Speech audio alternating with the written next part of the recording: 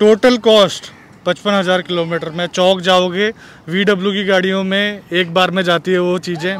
चार हज़ार? हाँ आठ सौ या नौ सौ रुपये एक टायर का है। अच्छा। क्या बात कर रहे हो यार? हाँ बिल है मेरे पास। अभी या, याद दिला देना है आपकी गाड़ी नहीं तो इसको लेके हम घर चले जाएँगे। अब क्या अगर आप लोग देख रहे हैं टाटा वालों तो यहाँ पर थोड़ा सा जस्टिफाई करोगे कि ऐसा क्यों? अभी आप जो फ्रेम के अंदर दो टिगोर देख रहे हो एक हमारी वाली टिगोर है एक सचिन भाई की टिगोर है। आज आप लोगों से सारा एक्सपीरियंस हम लोग शेयर करेंगे। ना सिर्फ़ टाटा टाटा की डीलरशिप का जो ट्रू एक्सपीरियंस है, वो भी हम आप लोगों को बताएँगे कि किस हिसाब से जो है, हम लोगों को फील होती है टाटा की सर्विसेज़ और किस हिसाब से एक आम आदमी जो है, उसको फील होती है। तो सचिन भाई, आपका बहुत बहुत स्वागत है। आप अपनी टिगोर को लेकर के आए हमारे साथ। वैसे आपको बता दें कि दोनों के अंदर अंतर ये है कि ये जो है ऑटोमेटिक वेरिएंट है, ये जो है मैनुअल वेरिएंट है। तो आप ये बताओ कि ये कब का वेरिएंट है सचिन जी? ये अप्रैल 2018 का। 2018 का इनको एक बेहतरीन डील मिल गई थी। कितने की मिली थी ये? ये पाँच बीस में। पाँच बीस के अंदर। चौको मत ये नई गाड़ी इन्होंने नहीं ली थी लेकिन इन्होंने सेकंड हैंड ली थी। तो पाँच बीस की ऑटोमेटिक वेरिएंट इनको मिल गया था। जेड से जो है ये वेरिएंट है। कितनी चल चुकी है अभी तक ये? ये अभी तक तो पच्चीस हज़ार चल चुकी है। और ये आपने जब ली थी कितनी चल चुकी थी? ये सत्रह सत्रह। हज़ार जो है वो चल चुकी थी। ये थोड़ा सा करेक्ट करना चाहूँगा जेड एक्स नहीं एक्स जेक्ट ए वेरिएंट है ये। एक्स जेड हाँ। मतलब लगा लो यार आगे पीछे हो जाता है इस कभी कोई कुछ ये मुझे लग रहा है कि साथ साथ में मेरा भी इंटरव्यू लेगा इस वीडियो में। बिल्कुल भाई साहब दो दो टाटा के ओनर है तो जायज़ बनता है ना ठीक है। तो आप इस गाड़ी के ऊपर कैसे चले गए भाई साहब? पहली चीज़ तो इससे पहले मेरे पास अल्टो थी। अच्छा जी। तो मैं चाहता था मेड इन इंडिया लेनी की अच्छा। या तो महिंद्रा हाँ, या फिर टाटा। क्या बात है। तो उसके बाद मेरे बजट में टियागो फिट हो रही थी हाँ, हाँ। पाँच साढ़े पाँच तक की मुझे चाहिए थी। मतलब नई टियागो जो हाँ। नई टियागो है। हाँ। उसके बाद फिर हमने सोचा कि क्यों ना वीडियो वीडियो भी देखी कि उन्होंने कहा कि अगर सेकंड हैंड में अच्छी मिल जाती है बिल्कुल। तो सेकंड हैंड पे जाना चाहिए। अगर एक साल पुरानी मिले तो एक साल में कुछ नहीं बिगड़ता गाड़ी का। क्या बिगड़ता है? कुछ नहीं बिगड़ता। हाँ। तो फिर हमने ओएलएक्स पे देखी तो हमें एक टियागो मिली थी। एक्जेड ए वेरिएंट था वो छः महीने पुरानी थी। हम्म, हम्म। वो मिल रही थी चार लाख नब्बे हज़ार की। अच्छा। हाँ जी। हम्म, तो वैसे वो छः लाख की गाड़ी है। तो फिर हमें ये मिली तो इसके उसने डाले थे जो ओएलएक्स पे देखा हमने पाँच पिछहत्तर के आसपास। तो हमने जब डील करी तो पाँच बीस में डील हो गई थी हमारी। अरे क्या बात बहुत ही सस्ते में इनको मिल गई। मतलब एक बार तो हम भी चौक गए थे इस गाड़ी को कि पाँच बीस के अंदर सिर्फ़ मतलब इतनी पुरानी गाड़ी सिर्फ़ पच्चीस हज़ार चली हुई है यार गाड़ी। इन्होंने भी जिसमें से सात आठ हज़ार चला दी है गाड़ी। आठ हज़ार। आपने चला दी है। तो ये चीज़ हम ओलेक्स को प्रमोट नहीं कर रहे। अगर ओलेक्स के ऊपर आप गाड़ी देखने जाते हो तो सजग हो जाइए चौकन्ने हो जाइए। वहाँ पे लूट खसोट जो है वो काफ़ी ज़्यादा है काफ़ी ज़्यादा। है। कितना है? सर हमारा है 2017 2017 वेरिएंट है। तेरी कितनी चल चुकी है? पचपन हज़ार। पचपन हज़ार। ये चल चुकी है पच्चीस हज़ार। मतलब कि ये लगा लो कि आधे से भी ज़्यादा जो है ना वो इसने चला दी है गाड़ी को। तुम्हारी जो है वो कॉस्ट कितनी आई है अभी तक? किस चीज़ सर्विस की। सर्विस की कॉस्ट पचपन हज़ार किलोमीटर तक। अभी हाल फ़िलहाल में एक सर्विस करवाई है। टोटल कॉस्ट पचपन हज़ार किलोमीटर। में चौक जाओगे वीडब्ल्यू की गाड़ियों में एक बार में जाती है वो चीज़ें। बारह हज़ार रुपये मात्र। बस। मात्र बारह हज़ार रुपए। एक और चौंकाने वाला फैक्टर है कि इनकी भी कॉस्ट जानेंगे। दोनों टिगोर ओनर है। ये ज़्यादा पुरानी गाड़ी रखते हैं मतलब एक साल पुरानी और इनकी कम भी चली। आपकी कॉस्ट कितनी आई है अभी तक? अभी तक अट्ठाईस के आसपास आ चुकी है तीन सर्विसिंग में। अब क्या अगर आप लोग देख रहे हैं टाटा वालों तो यहाँ पर थोड़ा सा जस्टिफाई करोगे कि ऐसा क्यों? इनका कोई कोई विशेष पार्ट वगैरह तब्दीली हुई है कि हमारे पास जो है वो सर्विस रिकॉर्ड है। तीन तीन सर्विस का जो है वो रिकॉर्ड है। ठीक है हम लोग इसलिए पूछ रहे हैं आप लोगों से कि एक आम आदमी जो है वो टाटा की शिकायत सर्विस को लेकर के क्यों करता है? प्रोडक्ट के अंदर इनको बेहतरीन लगी है गाड़ी कोई दिक्कत नहीं है। हम लोगों को भी बहुत बढ़िया लग रही है गाड़ी। उसमें भी कोई दिक्कत नहीं है। तो ये चीज़ आप लोगों से किस चीज़ का जो चार्जेज है वो ज़्यादा लिए जा रहे हैं यार? एक तो वो हर सर्विस में ब्रेक क्लीनिंग करते हैं तो ऑलमोस्ट चार हज़ार के आसपास उसका बिल बन जाता है। चार हज़ार? हाँ आठ सौ या नौ सौ रुपये एक टायर का है। अच्छा। क्या बात कर रहे हो यार? हाँ बिल है मेरे पास। हैं? और उसके अलावा और चीज़ें हैं मतलब उनकी लेबर भी ज़्यादा है। लेबर भी मेरे को ज़्यादा लगी जैसे कि आपका देखा था वीडियो तो उसमें जो आपने लेबर बताई आपने एक में पूरा बिल बताया था उसमें लेबर भी थी तो उससे भी लेबर भी ज़्यादा है। तो उस हिसाब से बिल ज़्यादा ही बन जाता। है तो मेरे को लगा कि वो या तो सर्विस सेंटर बदलना पड़ेगा या फिर वहाँ पे बोलना पड़ेगा कि ये चीज़ें नहीं करनी। बिल्कुल सही बात है। आपको सबसे बड़ी चीज़ यहाँ पर ये है कि आपको सर्विस सेंटर बदलने की सख्त ज़रूरत है और दूसरी चीज़ यहाँ पर ये है कि इनका जो बिल है एक जो टॉपअप वाली सर्विस होती है जिसका जो लेबर चार्ज है सात सौ साढ़े सात सौ के आसपास है वो बिल भी इनका जो है सात हज़ार का बना रखा है और ये बहुत शर्मिंदगी वाली बात है। समझ रहे हो ना आप? मैं जहाँ पर कह रहा हूँ कि पचपन हज़ार किलोमीटर में मेरा बारह हज़ार का खर्चा आया है टोटल इनका जो है ऑलमोस्ट डबल है पच्चीस हज़ार के आसपास वो भी सिर्फ़ तीन सर्विस इसमें से एक टॉपअप वाली है। देख लो यार। यहाँ पर जो है प्रोडक्ट आपको अच्छा है लेकिन बदनामी कहाँ हो रही है सर्विस सेंटर को लेकर के? तो ये चीज़ बहुत ज़रूरी है सुधारने वाली यार। कहाँ मतलब कि इन्होंने डबल गाड़ी चला दी आधे से भी कम का बिल है इनका पूरा अभी तक का और इनका जो है अट्ठाईस तीस हज़ार रुपये मतलब कि सर्विस के ऊपर दे चुके हैं। तो वीडब्ल्यू और टाटा की गाड़ियों में कहाँ फ़र्क रह जाता है सर्विस के अंदर? आप ये बताओ। खैर, अब दूसरे टॉपिक के ऊपर आते हैं। ये चीज़ जो है, वो एक अलग पार्ट है सर्विस का। आप लोगों को सबको बता दिया, जो कि हमारा एक फ़र्ज़ था। तो वो चीज़। अब एक बात बताओ कि आपको वैसे गाड़ी के अंदर कोई समस्या, कोई प्रॉब्लम कोई दिक्कत, जो कि आपने बताया हो उनको कि यार मेरे को तो ये दिक्कत है, इस वजह से उन्होंने बिल बढ़ा दिया आपका।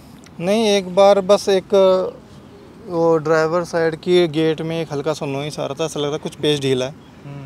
तो मैंने उन्हें बताया था कि यहाँ से एक नॉइस आ रहा है तो उन्होंने कहा ठीक है वो ठीक कर देंगे। और उसके बाद वो आया भी नहीं नॉइस वो ठीक भी कर दिया उन्होंने। ज़रूरी है भाई साहब आपको कि सर्विस सेंटर चेंज कर दो। हाँ पहली रिकमेंडेशन ये है।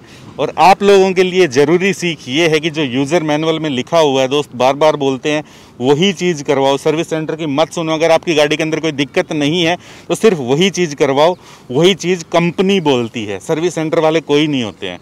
समझ में आया आपको? खैर अब भाई रवि ये बता कि तेरी गाड़ी कितने की माइलेज निकालती है? मेरी गाड़ी जो है नॉर्मली अठारह उन्नीस का माइलेज निकाल ही देती है। अठारह उन्नीस का निकाल देती है। और आपकी गाड़ी कितना निकालती है? सेम है हाईवे पे तो अठारह उन्नीस ही निकालती है। अच्छा। और सिटी में तेरह से पंद्रह के बीच में। तेरह से पंद्रह के बीच में। वो ड्राइविंग कंडीशन पे भी मैटर करता है क्योंकि रेड लाइट इतनी होती है दिल्ली में ऊपर से अगर गलियों में जाओ तो पहले गियर दूसरे गियर में रहती है। तो तेरह से पंद्रह फिर भी रही थी टोटली डिपेंड करता है कि ड्राइविंग स्टाइल कैसी है आपका आराम से चला रहे हो भगा के चला रहे हो। कई बार हमने भी बारह बारह तेरह तेरह का निकाला है। अभी जो है एमआईडी में मेरा ग्यारह शो कर रहा है लेकिन उससे पहले दो घंटा गाड़ी में बैठे थे हम एसी चला के वो तो करेगा ही करेगा। अभी इनसे बातचीत हो रही थी तो ये बता रहे थे कि टायरों की बहुत ज़्यादा नॉइस आती है और अभी एक आध टायर में देखे तो इनके कट भी लगे हुए हैं। और मैं आपको बताना चाहता हूँ कि ये टायर जो हैं काम के नहीं है। ये तीन, ये तीन टायर जो चेंज करवा चुका है तीन फाड़ चुका है। सर्विस से ज़्यादा कॉस्ट मेरी टायरों को चेंज करवाने में आई है ठीक है? वो तो एक चीज़ जो है मैं आप लोगों को यहाँ पर बताना चाहूँगा ये सिर्फ़ आम पब्लिक के लिए वीडियो नहीं है। मैं कंपनी वालों के लिए बोल रहा हूँ कि हम नॉर्मल कस्टमर के पास जाते हैं एक आम आदमी आपकी गाड़ी के बारे में क्या सोचता है क्या सुधार आपको करना चाहिए उस चीज़ से भी आप देख सकते हो ठीक है? स्पेशली उनके लिए अगर कोई टाटा से देख रहा है तो या कोई भी कंपनी से आपको देख रहा है तो हमारे दूसरे वीडियोस भी आप लोग देख सकते हैं वहाँ पर। डायरेक्टली हम लोग कस्टमर से जुड़ रहे हैं यहाँ पर। समझ में आया? अब मेन चीज़ क्या है कि ये है मैनुअल ये है ऑटोमेटिक मेनली जो है रवि के व्यू हम लोग जानना चाहेंगे क्योंकि इसने पचपन हज़ार ये गाड़ी चलाई है तो ऑटोमेटिक इसको कैसी लग रही है ये गाड़ी चलाने के अंदर? माइलेज दोनों की ऑलमोस्ट सेम ही है, जैसा कि इन दोनों ने शेयर किया है यहाँ पर। ठीक। तो अभी फ़िलहाल जो है वो रवि सबसे पहले गाड़ी चलाएगा तो उसका जो है ओपिनियन देखते हैं यहाँ पर क्या होता है। कैसी चलती है ऑटोमेटिक कैसी चलती थी मैनुअल तो ये ऐसा क्या इसको पछतावा होगा कि नहीं होगा? है ना? ऐसा होता है ना जब सेकंड हैंड गाड़ी देखने जाते तो एक मिस्त्री को ले जाते हैं। तो वो मैं क्या मिस्त्री हूँ? तो जो है ए में जब गियर चेंज होते हैं तब आपको पूरा एहसास होगा। जो AMT है इसका उतना स्मूथ नहीं है जितना ग्रैंड आइटन नियोस में आपको मिलता है और आपको और में मिलता है। बाकी चलने में पावर पिकअप अच्छी खासी है। अभी हमने थोड़ी देर पहले आई ट्वेंटी चलाई थी उससे कहीं ज़्यादा अच्छी है। पहले मुझे पता नहीं था मतलब स्पोर्ट मोड कहाँ पे है ऐसे ही मैं एक वीडियो देखी उसमें पता लगा कि स्पोर्ट मोड भी है इसमें। तो फिर मैंने स्पोर्ट मोड दबाया उसके बाद तो ज़मीन आसमान का फ़र्क था। स्पोर्ट मोड लगाती तो ऐसा लगता था कि हाँ मतलब अंडर पावर नाम की तो चीज़ स्पोर्ट मोड में तो बिल्कुल भी नहीं है। इसमें थोड़ा अंडर पावर सा लगता सिटी मोड में। तेरी मैनुअल के अकॉर्डिंग मतलब कैसे चल रही है मतलब? मैनुअल से तो ए का तो कोई कंपैरिजन नहीं है। पहली बात तो मैं यहाँ पर आपको क्लियर करना चाहता हूँ। अब जैसा ये है। मैंने फुल एक्सलेटर दबाया तो तीन हज़ार साढ़े तीन हज़ार में चेंज कर दिया। अब मैं स्पोर्ट्स मोड में इसको चलाऊँगा।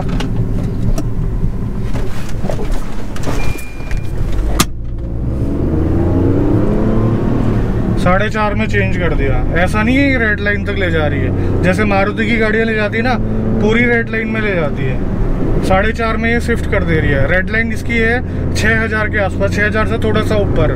मेरी वाली गाड़ी है उसी से कंपेयर कर रहा हूँ फ़िलहाल इसको चलाते हुए मैं। मैं यहाँ पर ये कहना चाहूँगा कि ये गाड़ी जो है परफॉर्मेंस के लिए बनी ही नहीं है। ठीक है? तो कॉम्प्रोमाइज़ बस इतना है कि जैसे साढ़े चार हज़ार पे शिफ्ट कर रही है। चाहे आपका कोई कोई सा भी मोड हो स्पोर्ट्स मोड में तो साढ़े चार में कर रही है, वैसे साढ़े तीन के आसपास कर रही है। तो उसको हम 6000 तक खींच सकते हैं। मैं खींचता हूँ उसको जनरली 6000 जब तक जो सुई है वो लाल नहीं हो जाती ये चीज़ इसमें मेरे को देखने को नहीं मिल रही है। जबकि अगर देखा जाए सिटी में आप चलाते हो तो ऐसे तुम कभी ज़िंदगी में नहीं चलाओगे कि आपकी सुई जो है लाल हो जाए। ठीक है सिटी में चलानी है उसके लिए ये बेस्ट ऑप्शन है। आराम से चलाओ। अभी या, याद दिला देना है आपकी गाड़ी नहीं तो इसको लेके हम घर चले जाएँगे। तो ऐसा ही लग रहा है जैसा कि रवि की गाड़ी चला रहा हूँ बस गेयर हटा दिए उसमें से। सिंपल बात है ये। है। अब मैं इसको सिटी मोड में और चला लेता हूँ। ज़्यादा शांत हो जाती है बेचारी। वो चीज़ माइलेज का प्रेशर आ जाता है इस पर ऑटोमेटिक है, सारी चीज़ें बढ़िया है, लेकिन आपका सिटी के ड्राइव के अंदर जो है वो बेस्ट गाड़ी है ये। मतलब कि बेस्ट तो खैर क्या कहूँगा, लेकिन बढ़िया गाड़ी है। सिटी ड्राइव के हिसाब से आप बिल्कुल ले सकते हो ऑटोमेटिक के अंदर। आपको परेशानी नहीं होगी, जाम भरे इलाकों के अंदर जो है ना, मस्त चला सकते हो। जिस प्राइस पे मैंने लिए उस प्राइस पे तो मेरे लिए तो बेस्ट ही थी। और सिडान मिल गई इतने में तो अरे सबकी किस्मत ऐसी नहीं होती भाई। बात है ये। और 420 लीटर का बूट स्पेस है। एक्चुअली वो हमें सबसे पहले तो मैंने ये देखा था कि हमें गाड़ी की रिक्वायरमेंट कैसी गाड़ी की रिक्वायरमेंट है। वैसे मैंने आपको मेल पे भी लिखा था कि हम देख तो रहे थे T V three double O अच्छा। और या फिर हमें नेक्सोन जैसी गाड़ी चाहिए थी थोड़ी ऊँची। लेकिन फिर हमने देखा कि रिक्वायरमेंट क्या है कि हमें पहली बात तो बूट चाहिए क्योंकि फैमिली के साथ तो हमेशा सामान लगेज रहता ही है। और पाँच सीटर होनी चाहिए थोड़ी कंफर्टेबल हो और ऑटोमेटिक हो तो और भी अच्छा। तो सारी रिक्वायरमेंट इसी में फुलफ़िल हो रही थी उस प्राइस टैग में। मैं आपको क्या बताऊँ, कुछ अलग फील हो रहा हो ना मेरे को, इसकी गाड़ी की बजाय तो मैं आपको ज़रूर बताऊँ यहाँ पर। तो सेम ही फीलिंग आ रही है जैसे रवि वाली गाड़ी जो है ना, वही चला रहा हूँ मैं, बिल्कुल। उसने जैसे कि सीट कवर लगवा लिए हैं, यहाँ पर कुछ चढ़वा लिया है इसके अलावा कोई अलग सी चीज़ जो है वो फील नहीं हो रही। बस यहाँ पर मैं सेकंड गियर लगा देता, है ना? अब कुछ लगाने की ज़रूरत नहीं है भाई। बस। तो ये था एक एक्सपीरियंस हमारा चलाने का। साथ के साथ हमारा मेन मकसद ये था आप लोगों को कि एक आम आदमी क्या परेशानियाँ फेस करता है, अगर जो है वो टाटा की सर्विस से रिलेटेड मैं हर एक की बात नहीं कर रहा, हर एक सर्विस स्टेशन की बात नहीं कर रहा, लेकिन बहुत सारे सर्विस स्टेशन के ऊपर ऐसा हो रहा है। जनरली आपसे रिक्वेस्ट है, अगर आप लोग देख रहे हो तो इस चीज़ को ज़रूर सुधारिए, ठीक है? तो ये चीज़। Well thank you so much भाई, आप आए और अपना जो एक्सपीरियंस है हम लोगों के साथ शेयर किया। बहुत बढ़िया प्राइस के अंदर आपको गाड़ी मिल गई। और आप लोगों से भी ऐसा ही है कि अगर आपको इस टाइप की गाड़ी कम प्राइस में मिलती है तो उठा लो भाई, कोई दिक्कत नहीं है। ठीक है, इनको बोल दिया है कि अपना सर्विस स्टेशन चेंज करो। इनको भी सर्विस कॉस्ट जो है वो आगे से कम मिलेगी। अभी की काफ़ी ज़्यादा है। ठीक है तो मिलते हैं ऐसे किसी नेक्स्ट इन्फॉर्मेटिव वीडियो के अंदर। और ना सिर्फ़ आप लोगों के लिए इन्फॉर्मेटिव रहा होगा, साथ के साथ कंपनीज़ के लिए भी रहा होगा हमारे वीडियो तो मिलते हैं नेक्स्ट वीडियो के अंदर। इसी मैसेज के साथ कि अगर फोर व्हीलर चलाते हैं तो सीट बेल्ट ज़रूर डाला करिए दोस्त अगर टू व्हीलर चलाते तो हेलमेट ज़रूर पहना कीजिए। ठीक है? जय हिंद जय भारत। भारत माता की जय। और आप भी अपनी गाड़ी का ओनरशिप एक्सपीरियंस शेयर करना चाहते हैं ये ईमेल आईडी आपको दिख रही होगी। आप वहाँ में मेल कर लीजिए और हम आपको जल्द से जल्द कांटेक्ट करने की कोशिश करेंगे। जी।